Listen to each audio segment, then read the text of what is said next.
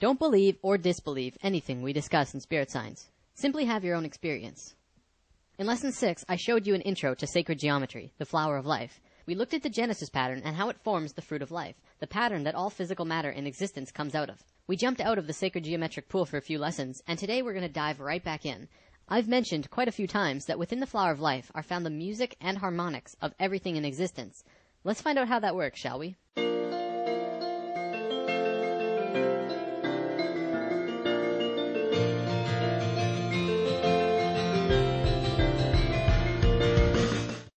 First, I want to show you phi and Fibonacci. It's important to understand for what we're going to talk about. I'll show you what you need to know to continue, and if you want to learn more in depth about these sequences, I will provide sources in the comments. Phi, also known as the golden ratio or golden mean, is a very simple relationship. If you had a rod and were going to put a mark on it, only two places would mark the phi ratio, which is here or here. The length of A plus B is equal to the length of C. This ratio is 1.6180339 and continues on forever. If you multiply the length of C with phi, it will create the exact same image, only bigger. C and D is equal to E. This ratio could then span on forever, going smaller and smaller or bigger and bigger forever. This ratio is infinite. It has no beginning and no end. It is also believed that phi is the mathematical root of all other sequences. See, every mathematical sequence in existence needs a minimum of three numbers to figure out the sequence. Phi only needs two. It is the only one. Similar to how the circle and square are the source of all shape, but we'll get to that later on. The next thing that you need to know is that this ratio is found in all life everywhere. Sort of. By sort of, I mean it's really Fibonacci, but we'll look at that in a moment. Look at your hand. Not only does each finger have its own ratio moving up each finger, which is phi to the next bone, but it oscillates back and forth from the tallest finger to the thumb. You wonder why the human hand is like that? It's based on phi.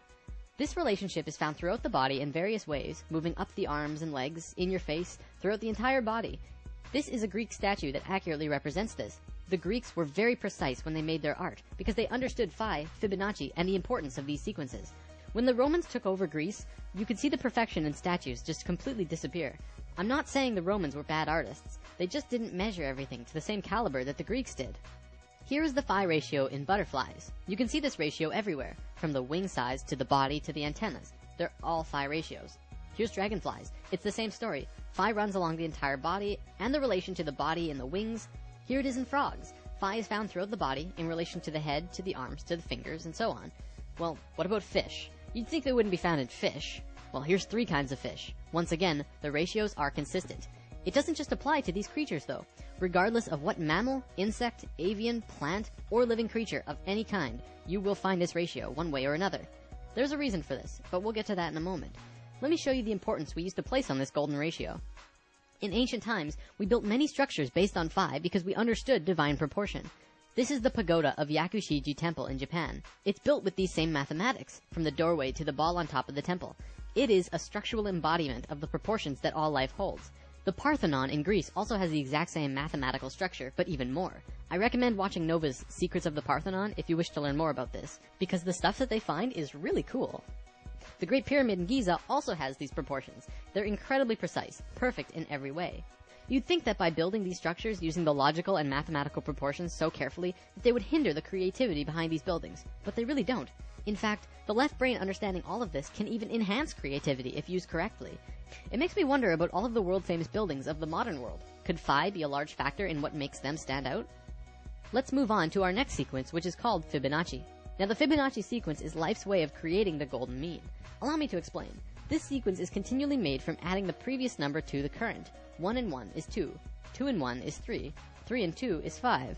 5 and 3 is 8. You can see how it continues. Now what most people don't know about Fibonacci is that it actually continually strives closer and closer to the phi ratio. By dividing the current number into the last, you can see this happening.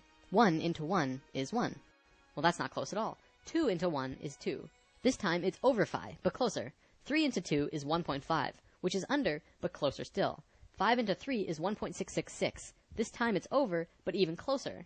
Continuing with that, it's 1.6, and then 1.625, 1.615384, 1.619048, and so on. It continually oscillates over and under the phi ratio, never quite making it there, but continuing on closer and closer every time, until eventually you can't even tell the difference. Because phi is an infinite number, this sequence will go on forever. Let's look at some spirals in nature, another way that phi and Fibonacci can manifest. This is a nautilus shell. Many people will say it's phi, but it's really Fibonacci. See how when it's in its earliest form, it's crude, not smooth or anything? One look and you can tell that's not phi. But as it goes up farther and farther, it gets closer and closer to phi. It becomes a nearly perfect phi spiral by the time it's all the way out here. This also happens with sunflowers, pine cones, and many plants in nature. In many cases, such as the pine cones and sunflowers, it flows in a double spiral or more, much like the spiraling arms of a galaxy. From the microcosm to the macrocosm, spirals are always present. So phi is basically source, or spirits, or God, in a mathematical way of thinking. the math of God. Don't forget that this sequence is an intimate part of nature itself. I'm going to call it source. It is the source of all mathematical sequences, and all life in existence grows based on phi. However, phi has no beginning and no end. Life doesn't know how to deal with that. It's like source says, go and replicate this, and life says, we don't know how. Because life doesn't know how to create from something that has no beginning. So it creates the Fibonacci sequence instead, which has a beginning, but starts out crude, very basic, and then continually goes closer and closer to source, becoming more divine every step. It does take steps too, which actually has quite a bit to do with evolution. Let's move on for now though. The only other sequence you need to know for this is binary sequences. This is a sequence like 2, 4, 8, 16, 32. We're just doubling the last number instead of adding it to the previous one. We're all very familiar with this. Binary sequences are found in life as well. For example, mitotic cell divisions are binary. We go from being a single cell being to having over 100 trillion cells in only 46 divisions. Binary sequences are also how computers work, by turning on and off chips. Computing at its core, anyways, is binary. Okay, let's move on to something different for now, but what we just looked at will reveal itself in time.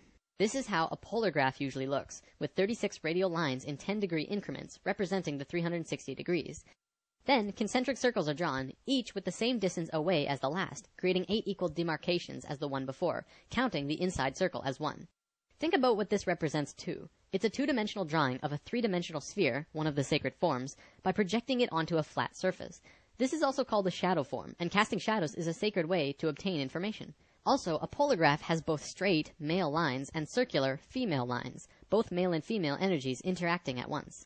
If you plot a golden mean spiral at 0 degrees on the polar graph, it will loop all the way around before hitting 0 again, exactly at the eighth circle.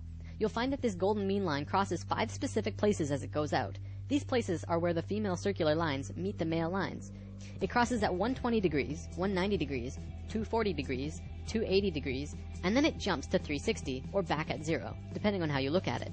What's interesting about this is that it creates both a binary and Fibonacci sequence. Looking at the radial increments from the center, it crosses at 1, 2, 3, 5, and 8. Well, that's Fibonacci. But it also crosses at 2, 4, and 8. Well, that's a binary sequence. We're going to look at the binary sequence in particular, though, because what you find is very cool. If you draw lines from the outermost circles on the lines where the binary sequence was formed, you get this image. It is an equilateral triangle. If you continue the spiral outward, it would continue to hit these exact same places and continue to form larger equilateral triangles. Let's divert yet again to look at something very interesting. There was a man named Keith Critchlow who discovered something very important to understanding the geometry of music. First, he drew a straight line through an equilateral triangle, and then he measured from the middle of the center line and drew a straight line up to the top edge and back down to the bottom corner. Then he did the same, but passed through the center line of the top and back down again. He did this yet again on the other side. You can keep doing this on either side as well. By drawing this funny little form, he discovered something of great importance. He writes, continuing in this way, each successive proportion will be the harmonic mean between the previous proportion and the total length, and all of these proportions will be musically significant. 1 over 2 being the octave, 2 over 3 being the fifth, 4 over 5 being the major third, 8 over 9 being the major tone or step, and 16 over 17 being the half tone or step. In other words, he discovered the geometries of music, or at least one aspect of them. Then he tried measuring it in a different way, starting at a different point of the center line. At 3 fourths, he found the measurements were 1 over 7, 1 over 4, 2 over 5, 4 over 7, 8 over 11, and 16 over 19. All of these numbers are musically significant. This is very interesting. It means that the harmonics of music are somehow related to the proportions of the central line moving through a tetrahedron. Back to the polar graph, you can see that this drawing has a much greater value all of a sudden. Not only that, but it becomes even easier to make your measurements thanks to the polar graph itself. You can just draw a straight line through the drawing on the graph, and it will give you the center line. This information has been taken light years beyond what I just showed you though. A research team found that you can draw these lines not only from the center, but from any nodal points inside the upper half of the triangle, and you'll come up with all known harmonics in existence. Basically, this means that anywhere the straight line and curve lines on the polar graph cross from 0 to 120 degrees and start making the pattern, you will come up with all known harmonic systems. Not only the Western keyboard, but the Eastern, and even many unknown systems that have never been used. As I'm not a musician, there's not much more I can show you related to this, but I would love to see what a musician could really do with this knowledge. How far could you take this? Alright, I'm running low on time here, so I'll wrap up with this unraveling. Remember when we talked about spirals in nature? They often travel in twos. Usually this is male and female. So on this polar graph, if you're going to copy nature, you don't just plot one spiral, you have to plot two. When you do that, it gives you this image, which is a star tetrahedron inside of a sphere. We mentioned this in lesson 7, and this image is more commonly known as the Star of David. Do you remember the face on Mars? NASA obviously tells us that it's just a random formation on the surface of the planet. But right next to the face, there are also a few pyramids and other anthropomorphic structures. I know what you're thinking. Why on earth would I bring that up all of a sudden? Well, Richard Hoagland and his colleagues have spent a long time researching and deciphering a message on the surface of the red planet. Want to know what that message was? It was a star tetrahedron inscribed in a sphere. Holy balls, right? There's a link in the comments to a page with all of this information if you want to learn more. It's pretty crazy, and very eye-opening now that we have this information about what this really means. Inside the star tetrahedron, another one fits perfectly. We can continue to put more and more star tetrahedrons inside or outside of the other star tetrahedrons, the same way the golden mean spiral can wrap around the polar graph infinitely big or infinitely small. You'll notice that this smaller tetrahedron also happens to fit perfectly around this sphere. Well, check this out. If you put this same size sphere centered on the point of every single star tetrahedral point, guess what suddenly reveals itself?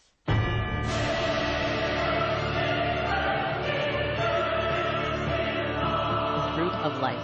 It's back. According to the Egyptians, as well as the Ascended Masters, this is one of the holiest, most sacred forms in existence. Of course, we already learned one of its informational systems in Lesson 6, and what you just saw was the second, only in reverse order. What this means is that all of the information of music, harmonics, sound, and spirals come out of this image. Not only that, but light and the dimensional levels work in the same way as harmonics, which we've already discussed in Lesson 2, 7, and 9 meaning that the geometric information about light and dimensions are also related to this star tetrahedron pattern. So just briefly looking at this image that we looked at in lesson 7, this is the fourth unraveling of the flower of life. It is an infinite spectrum of never-ending fruits of life within more fruits of life. This is the unraveling of dimensions, so it makes a little more sense now, but I won't have time to show you anything more today. So what you just saw was the second unraveling from the third rotational pattern of Genesis, the geometry at the heart of creation.